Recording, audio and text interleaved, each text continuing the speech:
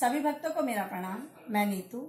सबसे पहले तो आप सभी को नववर्ष की हार्दिक शुभकामनाएँ। मेरी तरफ़ से भगवान सबके घर में बहुत बहुत खुशियाँ लेके आए आने वाला साल। आप सबके लिए बहुत ही फलदायक हो सुखदायी हो। सबका सबके पूरा साल मंगलमय बीते। और अ, काफ़ी दिन बाद मैं आज आपको भजन सुनाने के लिए बैठी हूँ। तो चलिए सुनाती हूँ। आज एक माता रानी का भजन आपको सुनाती हूँ जिसके बोले नित्य ध्यान धरू मैया। तो चलिए सुनाती हूँ आपको भजन।